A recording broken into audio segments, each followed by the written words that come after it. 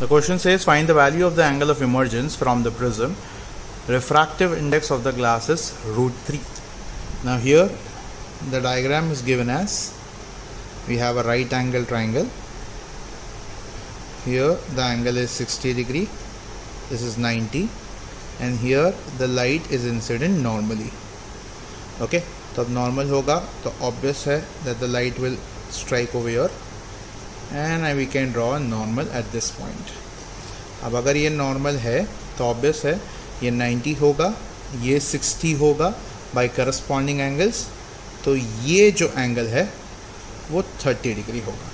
Now since the light is going from denser medium to rare medium we can say mu of air with respect to glass is sine of i upon sine of e. Definitely this is going to be e. And this will become i.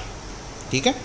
So now this is going to be 1 by root 3 correct?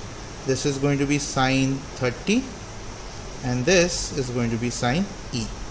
So sine e ho jayega root 3 by 2 sine of what is root 3 by 2 we know that is 60 degree और ये होगा हमारा final answer